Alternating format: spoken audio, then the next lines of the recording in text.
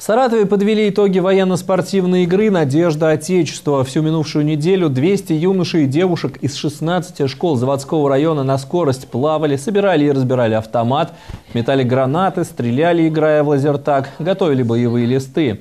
Помимо этого, от участников соревнований требовалось продемонстрировать свои творческие и художественные способности. Все состязания проходили на площадке учреждения дополнительного образования детей «Дубки».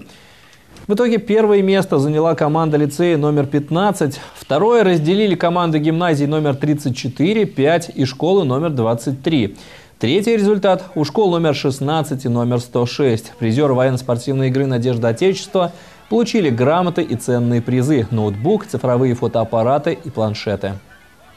Такие сборы нам нужны для того, чтобы мы э, всегда готовы были в трудных ситуациях сориентироваться и выбрать самый верный наш шаг. Мы рады, что в этом году в Заводском районе рождается новая очередная традиция.